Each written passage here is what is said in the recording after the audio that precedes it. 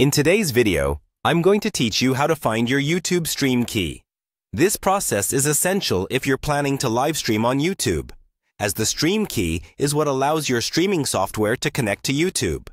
So, let's dive right in and find that stream key together. First things first, you'll need to navigate to YouTube.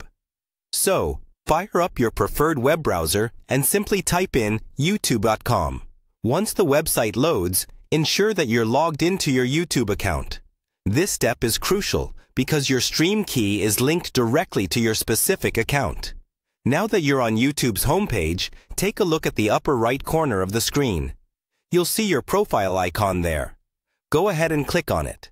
Clicking on your profile will open a drop-down menu with several options.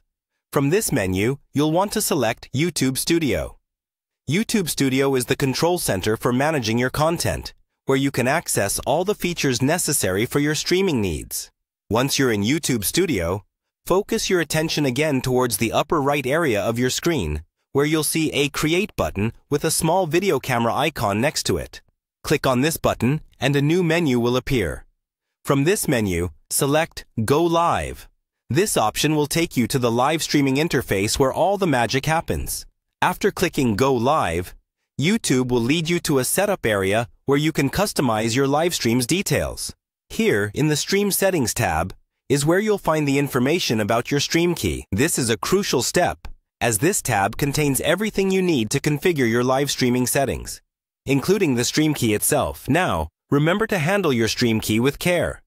It's quite sensitive information, similar to a password. If anyone else gets hold of it, they could potentially stream content on your channel without your consent. To keep your channel secure, ensure that you don't share your stream key publicly or with anyone you don't fully trust. And there you have it. You've successfully located your YouTube stream key. With this key, you can now set up your streaming software, like OBS Studio, and start broadcasting your content to your subscribers and viewers on YouTube. I hope you found this tutorial helpful and that you're now ready to take your YouTube lives to the next level.